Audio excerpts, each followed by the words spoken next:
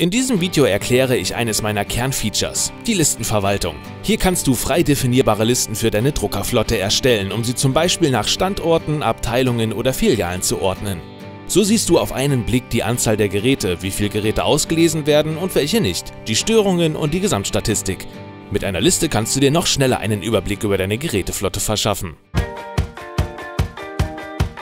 Ich befinde mich auf dem Dashboard und klicke in der Menüleiste auf Listen. Unter vordefinierte Listen findest du standardmäßig eine Liste mit allen Geräten. Um eine eigene Liste zu erstellen, klicke ich auf den grünen Button Neue Liste. Jetzt vergebe ich einen Namen für meine neue Liste. Ich nenne sie zum Beispiel Finanzbuchhaltung. Unter Kurzbeschreibung kannst du optional weitere Informationen hinzufügen. Im nächsten Schritt wählst du nun die Drucker für deine Liste aus.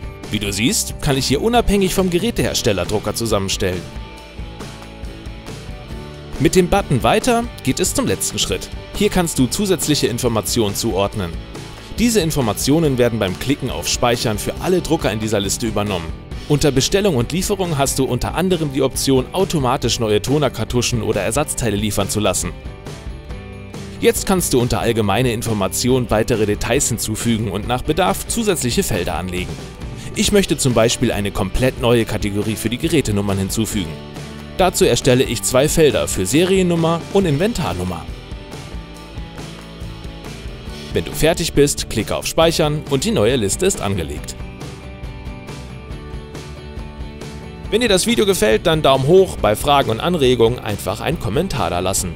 Und wenn du die brandheißen News zu meinen Features und Tutorials nicht verpassen willst, kannst du einfach meinen Kanal abonnieren. Bis dahin, mach's gut und vor allem mit Karl.